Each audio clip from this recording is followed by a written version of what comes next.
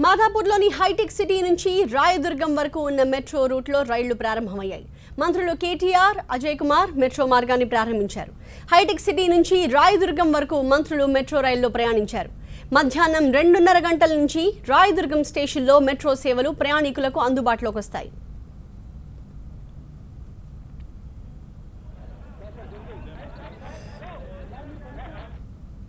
Metro రైలు నగరవాసులకు తొలిగా అందుబాటులోకి వచ్చి నేటికి రెండేళ్ళు. ఇవాళే హైటెక్ సిటీ నుంచి రాయదుర్గం వరకు కీలకమైన మరో కిలోమీటర్న్నర దూరం అందుబాటులోకి వచ్చింది. మంగళ బుధవారాల్లో తనిఖీలు నిర్వహించిన commissioner of metro rail safety గురువారం భద్రతా ధ్రువపత్రం జారీ చేయడంతో ఈ మార్గాన్ని మంత్రి కేటీఆర్ ప్రారంభించారు. ప్రభుత్వం ప్రైవేట్ భాగస్వామ్యంతో చేపట్టిన ఈ ప్రాజెక్ట్ వ్యయం పద్నాలుగు వేల నూట ముప్పై రెండు కోట్లు.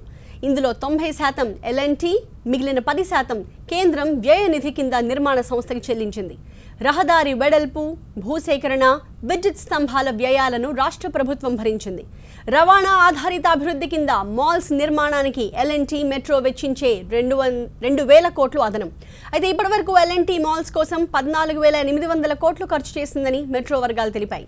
ఇందులో మూడు వేల కోట్లు ఈక్విటీ మిగిలినది రుణాలుగా సేకరించింది.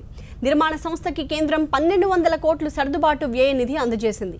రాష్ట్ర ప్రభుత్వం రహదారి విస్తరణ సుందరీకరణ పనుల కోసం ఇప్పటివరకు రెండు వేల ఎనిమిది వందల కోట్ల వరకు ఖర్చు చేసింది.